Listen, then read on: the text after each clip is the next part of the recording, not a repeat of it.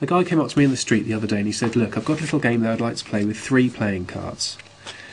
We've got this card, this card, and that card.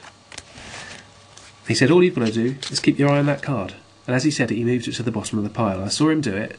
I said, It's easy, that card's on the bottom. He said, No, that's this card. I said, fine, well, if this card's on the bottom, that card must be on the top. He said, no, that's also this card. I said, well, if this card's the bottom and the top, that card must be in the middle. He said, no, that's also this card. I said, well, that's not fair because you're using three of this card. He said, no, that card's on the bottom. I said, yeah, but that was this card just now. He said, yeah, but so is the one on the top. Now it's also that card. I said, well, fair enough. That card's on the bottom and on the top. You're using two of that card. Uh, he said, no, I'm using three. That card's also in the middle. I said, well, if that's not fair, you're using three of that cards. He said, no, we've got this card, oh, and we got this card, oh, and we got this card. I said, well, you're obviously cheating. And he said, well, yeah, you've got to remember in life, you get a little bit of this, you get a little bit of that, but you get not much of the other.